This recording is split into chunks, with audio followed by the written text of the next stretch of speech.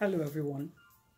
So the last time I shared, I said something which apparently resonated with quite a few people. And that was talking about the fact that your voice matters.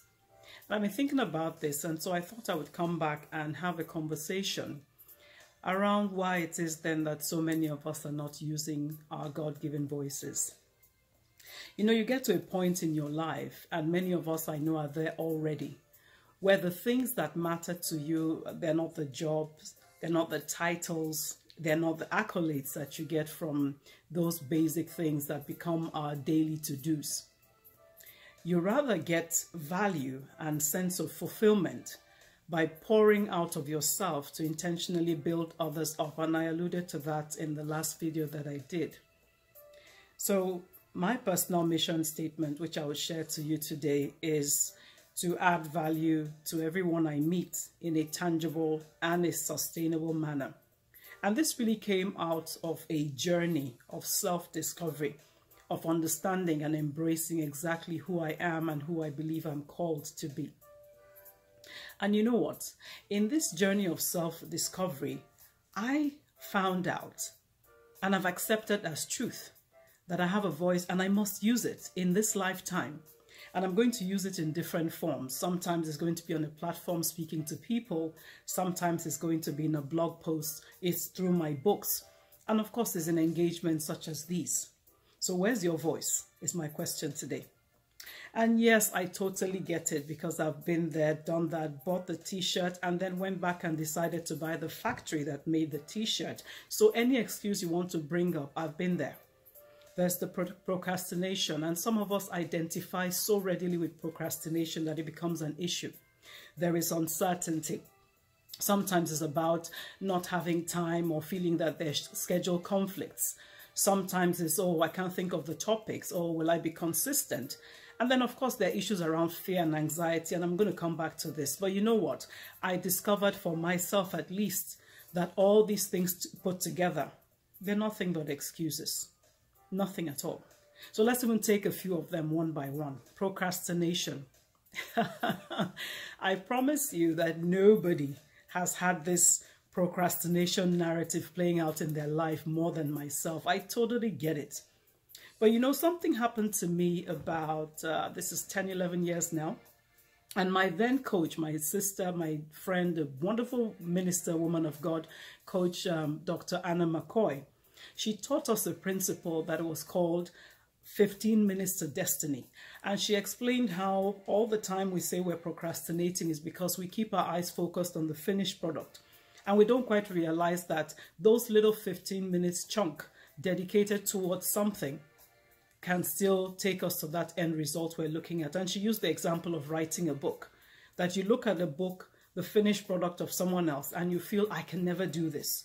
But if you dedicate yourself 15 minutes a day, just show up in front of your computer, whether or not you write anything, you'll be amazed how many books you write. I should know because I have four, four published books now. So procrastination is actually us choosing not to apply ourselves. And it can never be your identity because that's not the identity of Christ. And you wear and you carry Christ. So what do you do about procrastination, about time and schedule? I don't have time. No, you do have time. If you were to reflect on your whole week or perhaps your whole month, there is no way you have not found 15 minutes, 30 minutes, an hour that you can apply to diligently developing yourself so that you can manifest your voice on some platform or the other. Now, your voice is about the priorities that you put in your life. Like I said, if you're comfortable living with that unfulfillment, then that's okay, my brother and my sister. But if, like me, you just needed to up level, you know, how you felt about yourself, then it's time to set aside some chunk, determine what works for you, and begin to apply yourself in that area towards your purpose. Your voice is also important and relevant in this season. Therefore, if you catch this vision for yourself, you can't allow procrastination to steal your purpose in this time. I know a lot of people are speaking, but your voice is relevant in this season. The other thing I wanted to speak to is uncertainty. Some of us are so caught in this web of uncertainty and we spend our lives questioning ourselves. Oh, do I have anything to say? What do you mean, do you have anything to say? Let me ask you a question. Who are you benchmarking yourself with? Because sometimes the reason we feel we have nothing to say is because we're looking at some other great speaker, some motivational person out there, and we're thinking, oh, woe is me, I can never be that. Can I tell you something? On this journey of a voice that counts, that matters, that is relevant in this season per God's design, the only benchmark that you have is yourself. And so, yes, let me tell you something. One of the things I had to deal with was that sense of, but everybody's out there, everybody's talking. But as the Holy Spirit ministered to me, I want to share with you from the depth of my heart and with love. And say this, you're not called to everyone. You're not. So as long as you want to do what God would have you do, I promise you that you're called to a specific audience. The best of influencers in the world, I promise you they're speaking to but a, an infinitesimal fraction of the global population. I mean, there's 7 billion people in the world. If you even put this in the context, if you're Nigerian like me, for instance, and we're over 200 million people, I want you to check who is the largest influencer, who has the largest followership on any social media platform. Tell me how many millions and then work the math over 200 million. We're not all called to everyone, but there is an audience that the Lord will have you speak to. So please let your voice matter in their lives in this season. Now, there is also a lot of, um, excuse my French, crap that is being put out there in the name of speaking, in the name of using our voices. And many of us are offended by, offended by this. Let me then advise you, the decision I've taken for myself is to say this. When you are so concerned about the quality and content of what is being put out on social media, on different types of platforms, in books and stuff, then it's a challenge to you to elevate your voice past that so that people have other avenues where voices of reason, voices of integrity, voices of love and hope can come through. So we can't all just sit back and complain about what other people are doing. We actively have to be a part of transforming the landscape that we ourselves find rather disconcerting. And then another thing I have to say about stepping up and getting past this uncertainty issue is sometimes we feel that, you know, oh, I'm not sure if I'm going to be able to do it well. How would you know if you try? How would you know? You can never gain mastery from the sporadic. You have to show up. You have to. The people that you look at and you feel overwhelmed or intimidated by how great they are at all these things, it is because they showed up consistently. They were willing to make the mistakes. They were willing to um, you know, look past a few things and just keep showing up.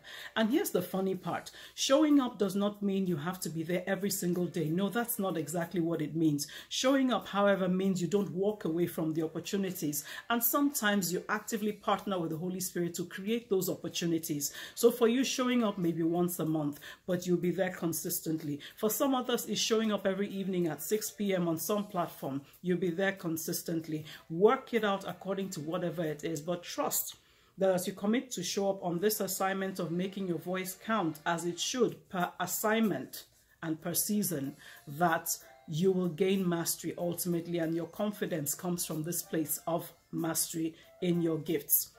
So there is also this thing about, okay, uh, I don't want to look like a copycat, you know, everybody's now um, live on Instagram. I don't want to look like that. Listen, the things that the enemy uses to constrain our destiny are absolutely unbelievable. But I can relate and I can tell you what, let me share a personal example. So I have been a mentor for more years than I can remember in both structured and unstructured mentoring platforms. Okay, I've mentored for Wimbiz, I've mentored for Apostles in the Marketplace, I've mentored for Lagos Business School, for Faith Foundation, amongst other establishments. And there are, of course, some mentors and, uh, sorry, mentees that I carry by myself. But something has been pushing me to say I want to create a structured mentoring program where I can interact with people leveraging on technology. And I've been meaning to put a flyer out there to say, hey, if you want to be mentored by me, this is how we're going to run this. And of course, the enemy comes with his own challenges to say, oh, you know, people will think you're a copycat, or people will think, you know, whatever. And I've had to walk back from that to say, no, no, I'm not going to buy into that argument. You know why? Like I said, I have been actively mentoring for at least 15 years, at least 15 years. And so all I will be doing in bringing it to Instagram or to Facebook or to Zoom or whatever is backing what I have been doing for years with technology.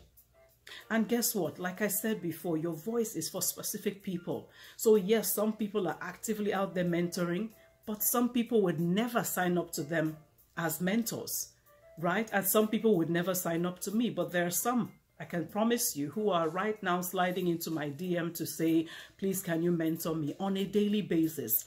So you have to be able to step away from some of those funny thoughts that come to make you feel insecure, make you feel you're a copycat. You have to step back and refuse to be um, what's the word now? You have to realize that if you don't step up to the things God is laying on your heart, what you're actually doing is you're becoming accountable for some other people staying in their broken down states, whereas you could otherwise have been accountable for elevating the lives of some people.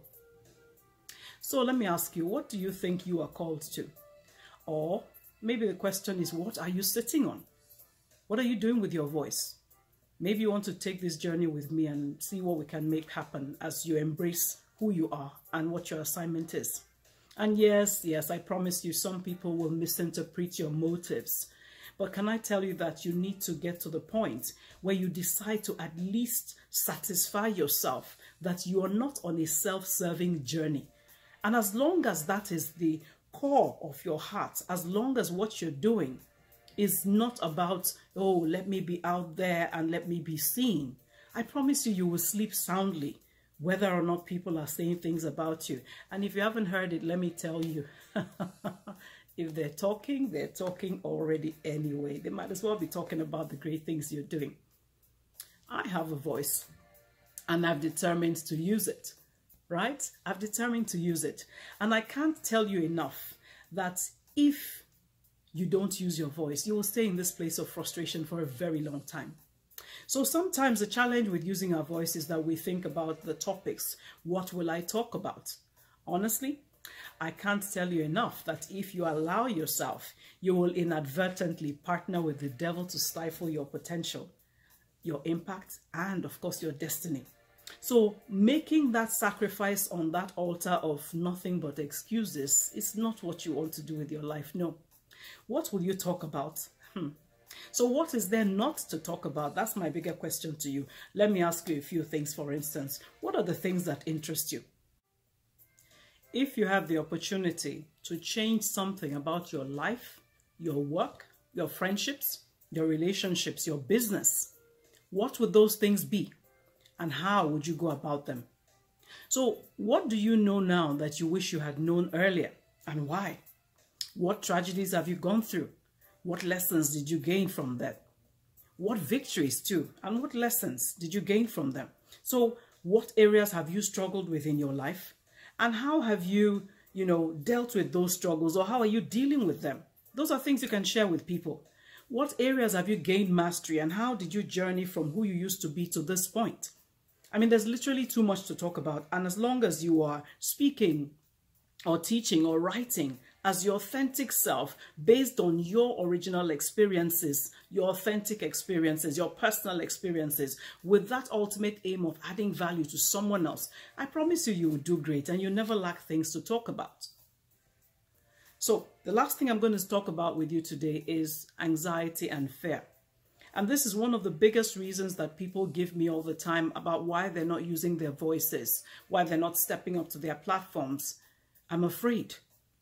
Can I promise you something? We are all afraid. Yes, even me, I said it. And the only difference actually is to what degree and how willing are we to look our fears in the face and choose to do it afraid anyway. That's my personal mantra.